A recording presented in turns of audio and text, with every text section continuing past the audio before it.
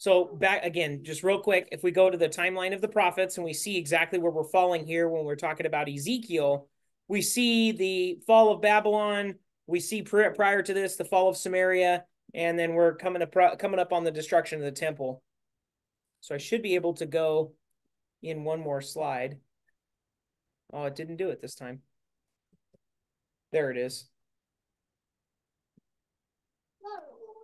So if we zoom in here, man, my arrow's gone. That's weird.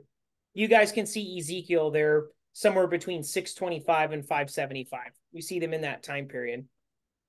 These are some notes that, again, I pulled straight from John MacArthur's Blue Letter Bible Intro to Ezekiel. Says, from the historical perspective, Israel's United Kingdom lasted more than 110 years through the reigns of Saul, David, and Solomon, then the divided kingdom. Do you guys remember what the divided kingdom consisted of? No. Babe.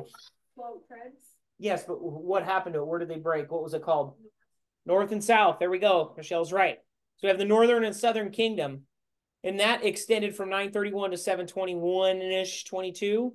Israel fell to Assyria in 722, leaving Judah the surviving kingdom for 135 years, which eventually fell to Babylon in 605 to 586 BC. In the more immediate setting, several features were strategic politically. Assyria's vaunted military might crumbled after 626 BC. Lily, would you please stop? Thank you. Um, yeah, and we see that, uh, and the capital Nineveh was destroyed in 612 BC by the Babylonians and the Medes. The Neo Babylonian Empire had flexed its muscles since Nabopolassar took the throne in 625 BC, and then Egypt under Pharaoh Necho. These are all things that we talked about in great detail. Okay, I see you now, Tatia. Okay, thank you. I'm gonna hang up. So that that kind of gives you the backdrop. He does a really good job at breaking down the Bible, the or the whole section of Ezekiel, but I think we should do that on our own when we get into the reading.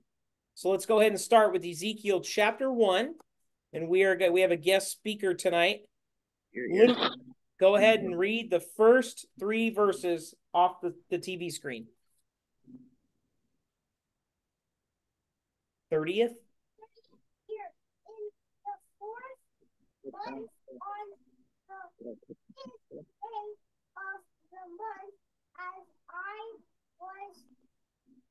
Among, among captives Shabar. Shabar that the heavens were open. And and I saw visions visions of God on the fifth day of the month, which, which was the fifth year of King Jehoiachin's captivity. Word, the word of the Lord expressly.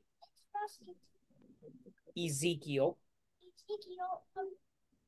Priest, son of Buzi, Chaldeans, by the river bar, and the hand of the Lord was upon him. Nice. Nice. You don't have to read that, bud. Fantastic job, Luke.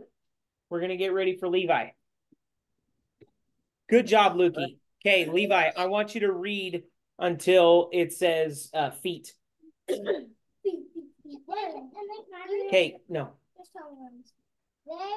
then I looked and behold, a, a whirlwind was coming out of the north, a great cloud with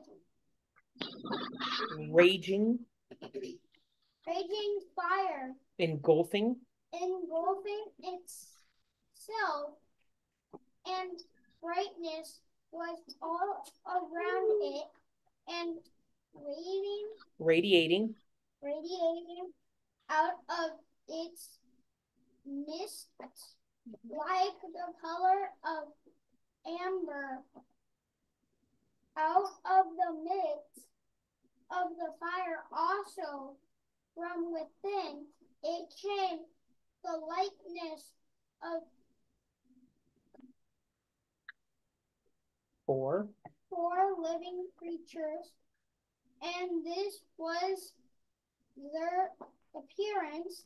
They had likeness of men. Okay, I'm gonna take over. You did a fantastic job. Okay, babe, go ahead. You're up.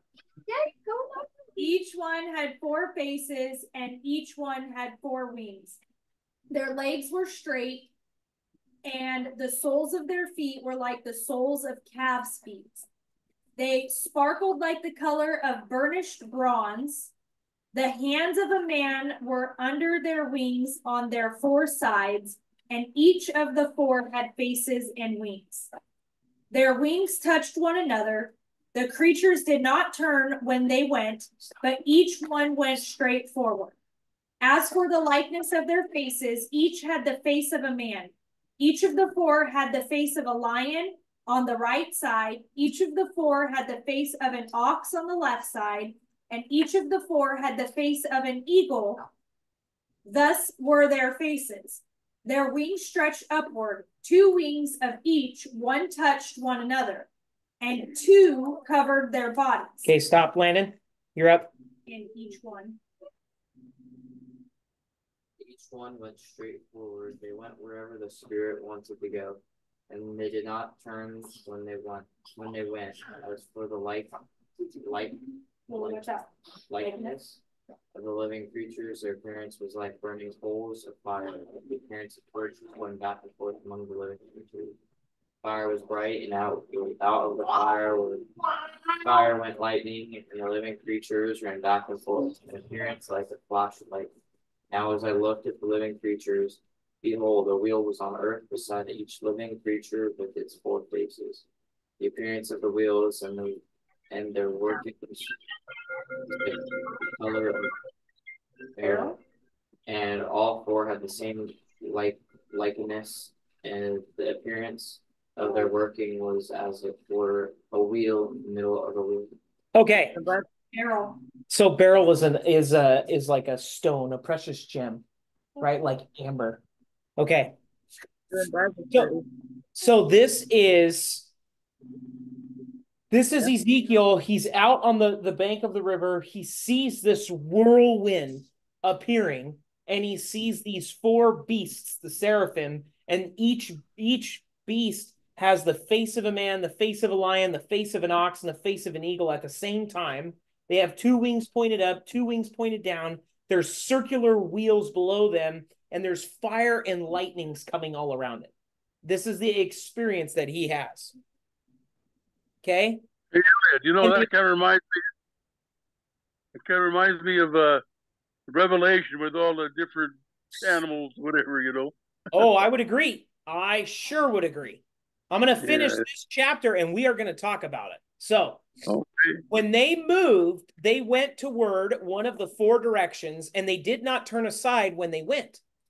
As for their rims, they were so high, they were awesome. He got me. Do not make him do that. I didn't make it do that. You were pointing at Max's face for him to do it. No, I was rubbing it. Okay, don't. Max Okay. is asleep. Sorry, guys. Technical difficulties with all these kids. When the living creatures went, the wheels went beside them. And when the living creatures were lifted up from the earth, the wheels were lifted up. Wherever the spirit wanted to go, they went because there the spirit went and the wheels were lifted together with them. For the spirit of the living creatures was in the wheels. When those went, these went. When those stood, these stood. And when those were lifted up from the earth, the wheels were lifted up together with them. For the spirit of the living creatures was in the wheels. The likeness of the firmament above the heads of the living creatures was like the color of an awesome crystal, stretched out over their heads. And under the firmament, their wings spread out straightward one to another. Each one had two which covered one side, and each one had two which covered the other side of their body. When they went, I heard a noise of their wings like the noise of many waters, like the voice of the Almighty, a tumult like noise of an army. And when they stood still, they let down their wings. A voice came from above the firmament that was over their heads. Whenever they stood, they let down their wings, and above the firmament over their head was the likeness of a throne, in appearance like a sapphire stone. On the likeness of the throne was a likeness with the appearance of a man high above it. Also, from the appearance of his waist and upward, I saw, as it were, the color of amber with the appearance of fire all around within it. Yeah, right. Mm-hmm. And from the appearance of his waist and downward, I saw, as it were, the appearance of fire with brightness all around, like the appearance of a rainbow in a cloud on a rainy day. So was the appearance of the brightness all around it. This was the appearance of the likeness of the glory of the Lord. So when I saw it, I fell on my face and I heard a voice of one speaking. So there have been many attempts by artists to articulate what he has seen. We're going to go ahead and look through some of these items. Here's the first image, and you'll see this picture of a hand giving a scroll because later on, as we read on, we'll see some more details. But you'll notice in the back, there's these seraphim like creatures surrounded by fire with this wheel with eyes on it. And the wheels kind of just looks kind of weird. Then we see that there's this lion, the ox, and the face on there. Then we have this other image where it's kind of like this lightning appearance. And we see the eagle and the ox face. Right, does. Then we see this artist's rendering of wheels attached to a chariot. And we see these seraphim that are around it, and then one at the top who has the appearance of likeness of the glory of God shining around it. On the right hand side, we see more of like a new age type artistic experience where we see this body of a man and then these different faces that are surrounding him with these these four wings. Then we have this one here, which shows like these angelic beings with these wings, the wheels that are spinning and rotating like fire, which evolves into something like this. And I don't know if you guys can see that. Where we see these lights coming through these various rings of wheels that are spinning overhand with these winged characters, right? And then we have this image, which is just kind of freaky looking, where we see um, it's just kind of weird looking, where we see these type of angelic beings. But then we have a lot of people who interpret this as this. It looks like a spaceship. It looks like a spaceship, That huh? last- that Yeah, last sure does. That last slide that you showed where the lights were beaming down, no, the other one, right there. Looks like a spaceship. Kind of looks like a spaceship, right? Saucer. So there are lots, lots and lots and lots of secular individuals who believe that Ezekiel is writing down an encounter of an alien encounter. They say he's describing a UFO. There's wheels in the sky that are spinning around. There's fire coming out of these wheels. There's these angels that are coming through, and there, there, there's this experience. There's another side of the commentary, the or the, the scholars that say, no, absolutely not. There's no way that this could be a UFO. Um, it's a it's a 50-50 type split. And I would probably say there are more people that lean on the side of saying that it's not a UFO. Okay.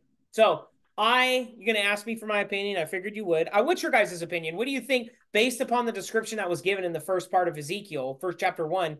What do you think he saw? Do you think it was something more like this or more like the wagon that we've seen? Think it's more like a wagon? So I'm going to give my two cents. Nothing. I'm going to give my two cents. I'm going to go ahead and say that I think it was something more like this. Very specifically, just like this, without this this image lacks the angelic component where the the beings that are there. Do I think it's a UFO? No, because Ezekiel was able to identify it, and by definition, a UFO is, is an unidentified flying object. I think that this is some unique way in which the glory of God is being presented to Job. And I think that the enemy that we have amongst us has different ways to try and emulate the things that God does. Right? And so, if you were to ask me what my thoughts are on this, we just recently had a a congressional hearing where they've changed the name of UFOs to UAPs, which is unidentified anomalous phenomena. Okay. And we have this gentleman, David Grusch, who served 14 years as an intelligence officer in the U.S. Air Force and National Geospatial Intelligence Agency, appeared before the House of Oversight Committees to share that there has been a large amount of cover up surrounding what we would consider UFOs. So, again, the question that would become Elliot, are you telling me that you believe that there's aliens and UFOs? And so I'm going to go ahead and respond to that with some scripture. Okay. Number one, by definition, what is an alien? Alien. Oh, someone from a different Someone from not here. Someone who doesn't originate here. Yes, Levi. An illegal alien is someone who, who's from another country. They're not from this land. So would a angel's first estate be earth? No. So we would consider them alien to this land. This isn't their home. This isn't their abode. They dwell within the heavens, right? Same thing goes for demons, right? So when I see Matthew chapter 24, when letters in red, what does it mean? Jesus. It was Jesus speaking. When Jesus says, For false Christs and false prophets will rise and show great signs and wonders to deceive, if possible, even the elect. Do I think that the enemy will present himself in this demonic state that is trying to emulate something similar to what e- Ezekiel experienced to try and say that he is the Christ when really it's something demonic happening? Yes, because I think Christ warned us of that. Furthermore, when we look at what Paul has to say, he says, Finally, my brethren, be strong in the Lord and in the power of his might. Put on the whole armor of God that you may be able to stand against the wiles of the devil. For we do not wrestle against flesh and blood, but against principalities, against powers, and the rulers of darkness of this age, against spiritual hosts of wickedness in the heavenly places. I personally would not find it hard to imagine that Satan and his demons would contrive a plan of some type of a UFO type experience on this earth and present themselves as demons on our earth in a way to try and undermine the word of God. And I think that if if we weren't wouldn't consider that our enemy would be willing to go to those lengths, then we are putting ourselves in that position to be deceived as well. Okay? So on that note, I'm going to continue on with chapter 2. And he said to me, Son of man. Go ahead, Miguel. What were you going to say? Oh, no, because uh, the computer, hold on, I'm calling Victoria. No, uh, it said that if I want to make changes, no, sorry. You're good. Okay, so now moving into chapter two. And this is the voice of the Lord speaking to him. And he said to me, Son of man, stand on your feet, and I will speak to you. Then the Spirit entered me when he spoke to me and set me on my feet. And I heard him who spoke to me, and he said to me, Son of man, I am sending you to the children of Israel, to a rebellious nation that has rebelled against me. They and their fathers have transgressed against me to this very day, for they are impudent and stubborn children. I am sending you to them, and you shall say to them, Thus says the Lord God. As for them, whether they hear or whether they refuse, for they are a rebellious house, yet will they know that a prophet has been among them. And you, son of man, do not be afraid of them, nor be afraid of their words. Though briars and thorns are with you, and you dwell among scorpions, do not be afraid of their words or dismayed by their looks, though they are a rebellious house. You shall speak my words to them, whether they hear or whether they refuse, for they are rebellious. But you, son of man, hear what I say to you. Do not be rebellious like that rebellious house. Open your mouth and eat what I give you. Now, when I looked, there was a hand stretched out to me, and behold, a scroll of a book was in it. Then he spread it before me, and there was writing on the inside and on the outside, and written on it were lamentations of mournings and woe. Now, Uncle Charlie, what does that remind you of? The scroll, what do you think? The book of Revelation. Remember when John was told to eat the book? Yes, it right. was- It- It was sweet in his mouth, but it was bitter in his stomach. Yeah, yeah, yeah, I remember now. So this sounds a lot like that, a lot like what we heard about the other beasts and whatnot mm-hmm. in there.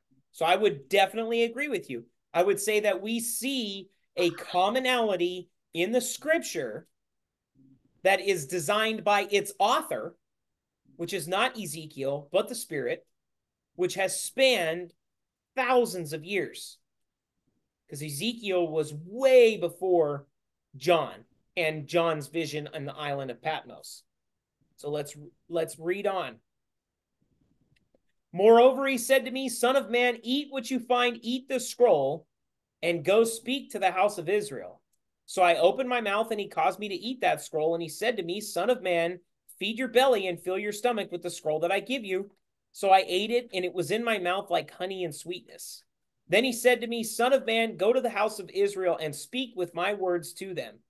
For you are not sent to a people of unfamiliar speech and of hard language, but the house, but to the house of Israel. Not many people of unfamiliar speech and of hard language whose words cannot understand. Surely, had I sent you to them, they would have listened to you. But to the house of Israel, they will not listen to you because they will not listen to me. For all the house of Israel are impudent and hard hearted. What does that, what is he saying here, babe? What do you think he's saying?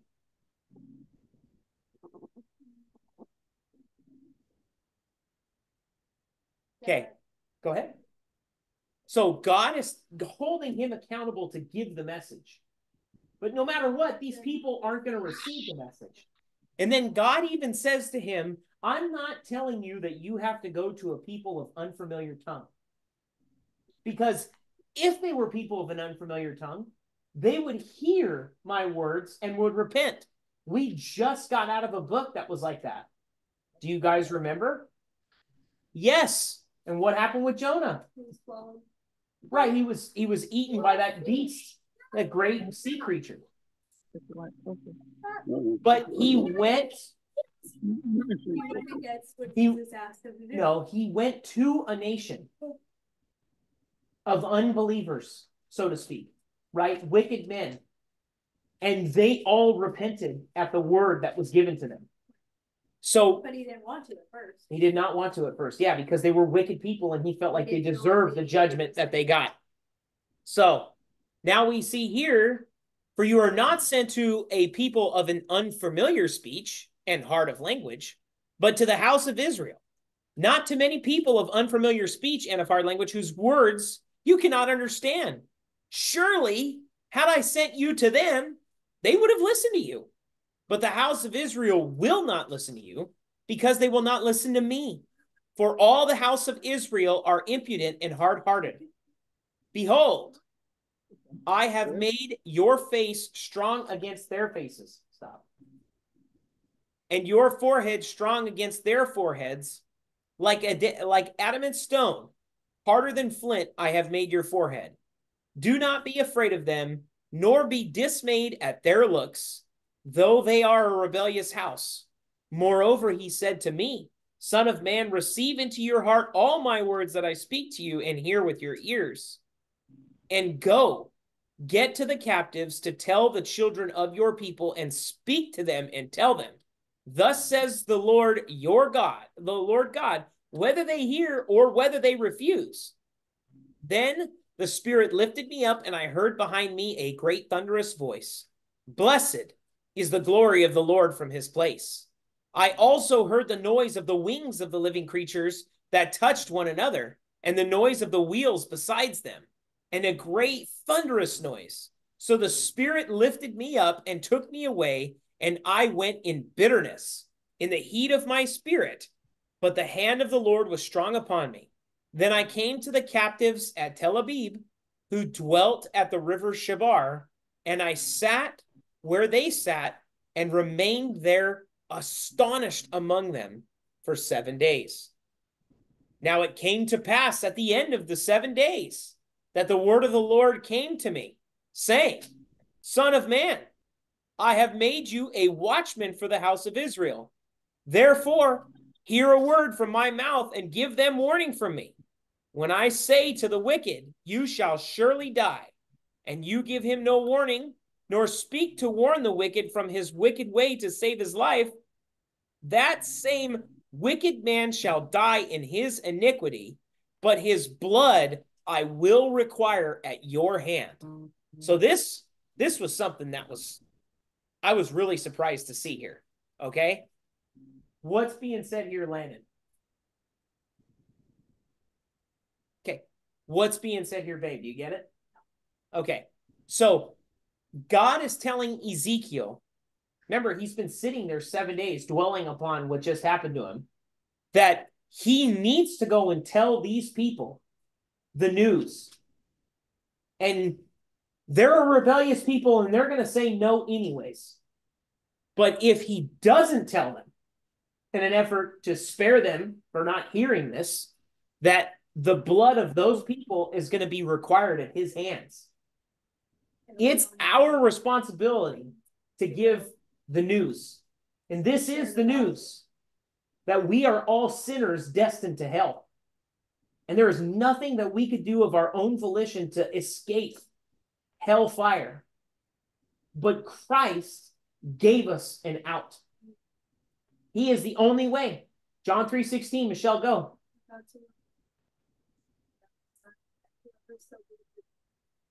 Shall not perish but have everlasting. Yes.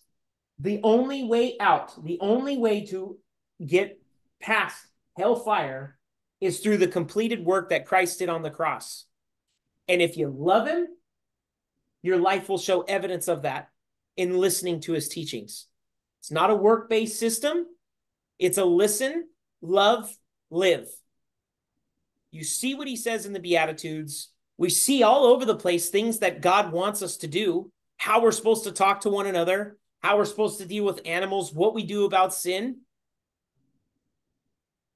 We should be constantly changing for the better. So that's the message that he's told to give. Hey, you know what? You guys are destined for hell because of the iniquity that you have. And it's What's crazy about this is God is not requiring success from Ezekiel. He's only asking for obedience in sharing his message. There is no expectation that people are going to turn away from their wicked ways. It's Ezekiel's job to deliver them the warning. So I'm going to go back to where it says, Yet. Yet if you warn the wicked and he does not turn from his wickedness, nor from his wicked way. He shall die in his iniquity, but you have delivered your soul. Again, when a righteous man turns from his righteousness and commits iniquity, and I lay a stumbling block before him, he shall die, because you did not give him warning.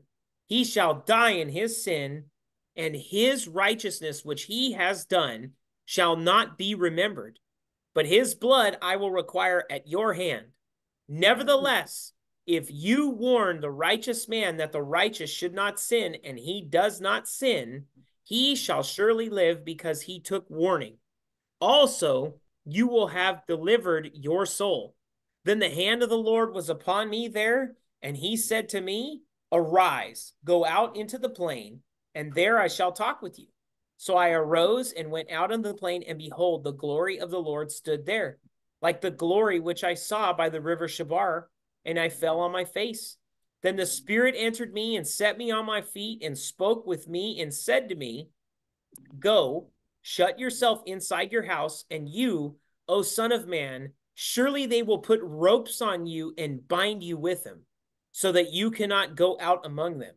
I will make your tongue cling to the roof of your mouth so that you shall be mute and not be one to rebuke them. For they are a rebellious house. But when I speak with you, I will open your mouth, and you shall say to them, Thus says the Lord God He who hears, let him hear, and he who refuses, let him refuse, for they are a rebellious house. Chapter 4 You also, Son of Man, Take a clay tablet and lay it before you, and portray on it a city, Jerusalem. Lay siege against it, build a siege wall against it, and heap up a mound against it. Set camps against it also, and place battering rams against it all around. Moreover, take for yourself an iron plate and set it as an iron wall between you and the city. Set your face against it and it shall be besieged, and you shall lay siege against it. This will be a sign to the house of Israel. So, first sign that he's supposed to do is basically create an artist's rendering of Jerusalem and showing that it's going to be attacked. I've learned from other commentaries and from other, uh, so I should say the, the other scholars that talk about this is that Israel had a group of people, Jerusalem had a group of people that thought God would never let them be destroyed because they were God's chosen people. So no matter what, it didn't matter if the Assyrians were going to come in here and bust down the wall. God was going to deliver them just like he did with Moses and parted the Red Sea. But remember, these are wicked and rebellious people. They're not serving God, they're serving idols, they're serving themselves. So that's where he's giving this warning. So here's the second sign. This will be a sign to the house of Israel. Lie on your left side and lay the mm, lie on your left side and lay the iniquity of the house of Israel upon it. According to the number of days that you lie on it, shall you bear their iniquity. For I have laid on you the years of their iniquity according to the number of days, 390 days. So you shall bear the iniquity of the house of Israel. And when you have completed them, lie again on your right side. Then you shall bear the iniquity of the house of Judah 40 days. I have laid on you a day for each year. Therefore, you shall set your face toward the siege of Jerusalem. Your arms shall be uncovered, and you shall prophesy against it. And surely I will restrain you so that you cannot turn from one side to another till you have ended the days of your siege. Also, take yourself wheat, barley, beans, lentils, millet, and spelt. Put them into one vessel and make bread of them for yourself. During the number of days that you lie on your side, 390 days, you shall eat it. And your food, which you shall eat, shall be by weight, 20 shekels a day.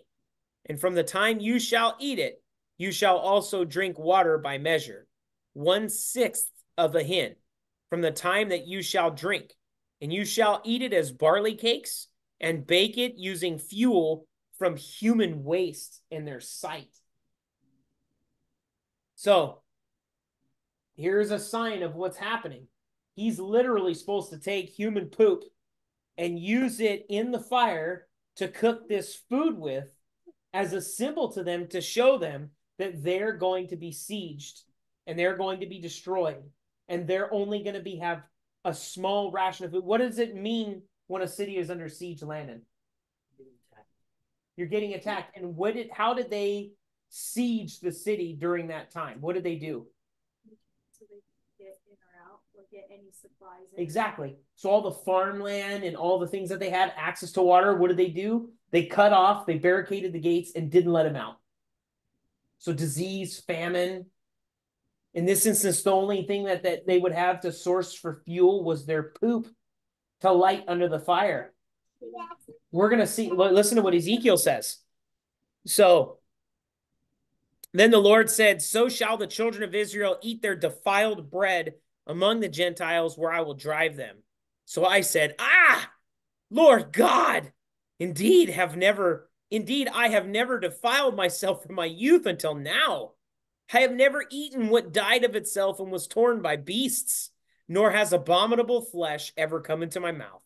Then he said to me, See, I am giving you cow dung instead of human waste, and you shall prepare your bread over it.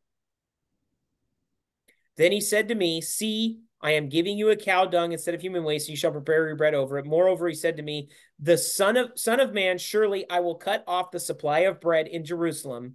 They shall eat bread by weight with and weight by, by weight and with anxiety, and shall drink water by measure and with dread, that they may lack bread and water and be dismayed with one another and waste away because of their iniquity. Chapter 5 And you, son of man, take a sharp sword, take it as a barber's razor, and pass it over your head and your beard. Then take scales to weigh and divide the hair. You shall burn with fire one third in the midst of the city. When the days of the siege are finished, then you shall take one third and strike it around with the sword, and one third you shall scatter in the wind. I will drag out a sword after them. You shall also take a small number of them and bind them in the edge of your garment. Then take some of them again and throw them into the midst of the fire and burn them in the fire. From there, a fire will go out into all the house of Israel. Thus says the Lord God. This is Jerusalem. I have set her in the midst of the nations and the countries all around her. She has rebelled against my judgments by doing wickedness more than the nations, and against my statutes more than the countries that are all around her. For they have refused my judgments, and they have not walked in my statutes. Therefore, thus says the Lord God, because you have multiplied disobedience more than the nations that are all around you, have not walked in my statutes, nor kept my judgments, nor even done according to the judgments of the nations that are all around you. Therefore, thus says the Lord God, indeed, I, even I, am against you, and will execute judgments in your midst in the sight of the nations. And I will do among you what I have never done and the like of which I will never do again because of all your abominations. Therefore, fathers shall eat their sons in your midst, and sons shall eat their fathers. And I will execute judgments among you, and all of you who remain I will scatter to all the winds. Therefore, as I live, says the Lord God, surely because you have defiled my sanctuary with all your detestable things and with all your abominations. Therefore will I will also diminish you. My eye will not spare you, nor will I have any pity. One third of you shall die of pestilence and be consumed with famine in your midst, and one third shall fall by the sword all around you. And I will scatter another third to all the winds, and I will draw out the sword after them. Thus shall my anger be spent, and I will cause my fury to rest upon them and I will be avenged. And they shall know that I, the Lord, have spoken it in my zeal when I have spent my fury upon them. Moreover, I will make you a waste and a reproach among the nations that are all around. In the sight of all the who pass by, so it shall be a reproach, a taunt, a lesson, and an astonishment to the nations that are all around you when I execute judgments among you in anger and in fury and in furious rebukes. I, the Lord, have spoken when I send against them the terrible arrows of famine, which shall be for destruction.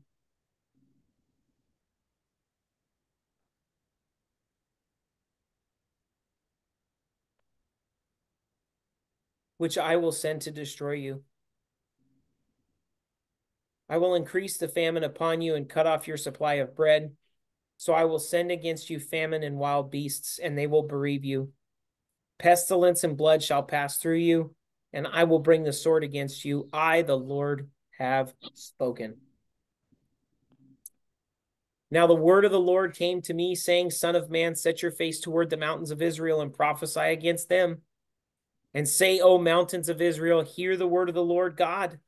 Thus says the Lord God to the mountains, to the hills, to the ravines, and to the valleys Indeed, I, even I, will bring a sword against you, and I will destroy your high places. Then your altars shall be desolate, your incense altars shall be broken, and I will cast down your slain men before your idols, and I will lay the corpses of the children of Israel before their idols, and I will scatter your bones all around your altars. In all your dwelling places, the cities shall be laid waste, and the high places shall be desolate, so that your altars may be laid waste and made desolate. Your idols may be broken and made to cease. Your incense altars may be cut down, and your works may be abolished. The slain shall fall in your midst, and you shall know that I am the Lord. Yet I will leave a remnant so that you may have some who escape the sword among the nations when you are scattered through the countries. Then those of you who escape will remember me among the nations where they are carried captive, because I was crushed by their adulterous heart, which has departed from me, and by their eyes, which play the harlot after their idols. They will loathe themselves for the evils which they committed in all their abominations. And they shall know that I am the Lord. I have not said in vain that I would bring this calamity upon them. Thus, thus says the Lord God pound your fists and stamp stomp your feet and say alas for all the evil abominations of the house of Israel for they shall fall by the sword by famine and by pestilence he who is afar off shall die by the pestilence he who is near shall fall by the sword and he who remains and is besieged shall die by the famine thus will I spend my fury upon them then you shall know that I am the Lord, when their slain are among their idols, and all around their altars on every high hill, on all the mountain tops, under every green tree, and under every thick oak, wherever they offered sweet incense to all their idols. So I will stretch out my hand against them and make the land desolate. Yes, more desolate than the wilderness toward Diblah in all their dwelling places then they shall know that I am the Lord.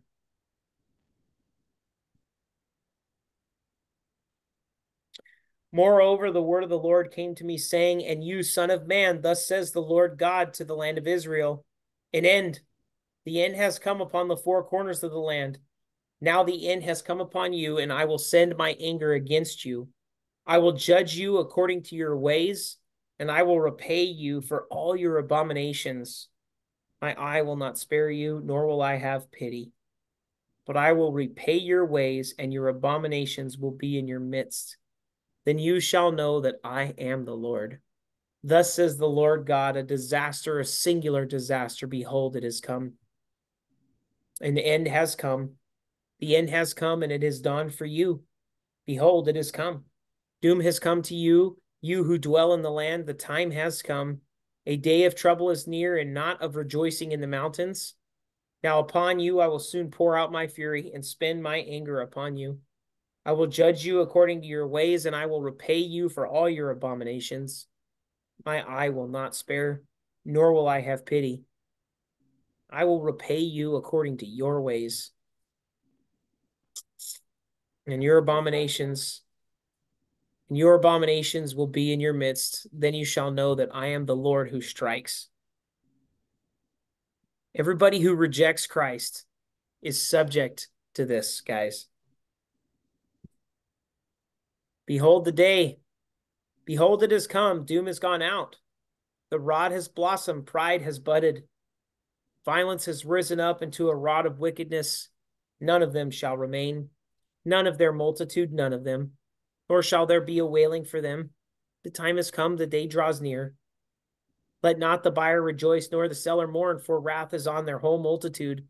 For the, sh- the seller shall not return to what has been sold, though he may still be alive. For the vision concerns the whole multitude, and it shall not turn back. No one will strengthen himself who lives in iniquity. They have blown the trumpet and made everyone ready, but no one goes to battle.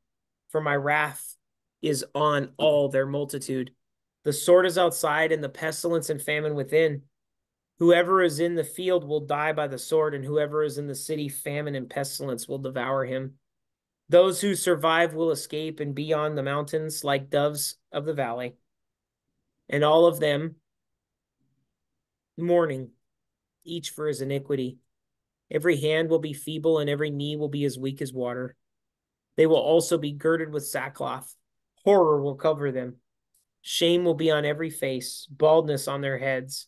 They will throw silver into the streets, and their gold will be like refuse. Their silver and their gold will not be able to deliver them in the day of the wrath of the Lord. They will not satisfy their souls, nor fill their stomachs, because it became their stumbling block of iniquity. As for the beauty of his ornaments, he set in it in majesty, but they made from it the images of their abominations, their detestable things. Therefore, I have made it like refuse to them. I will give it as plunder into the hands of strangers, into the wicked of the earth as spoil, and they shall defile it. I will turn my face from them, and they will defile my secret place. For robbers shall enter it and defile it. Make a chain, for the land is filled with crimes of blood, and the city is full of violence. Therefore, I will bring the worst of the Gentiles, and they will possess their houses. I will cause the pomp of the strong to cease, and their holy places shall be defiled. Destruction comes. They will speak peace, but there shall be none. Disaster will become upon disaster, and rumor rumor will be upon rumor. Then they will seek a vision from a prophet, but the law will perish from the priest and the counsel of the elders. The king will mourn, the prince will be clothed with desolation, and the hands of the common people will tremble. I will do to them according to their way and according to what they deserve. I will judge them. Then they shall know that I am the Lord. And I'm going to stop on chapter eight. We'll we'll finish up chapter eight next week. Uh, my recommendation was to read 10 chapters. The chapters, a couple of the chapters get thick, but there's quite a few thin chapters. So if you guys could make it to chapter 18, that would be awesome. Um, Got it. any thoughts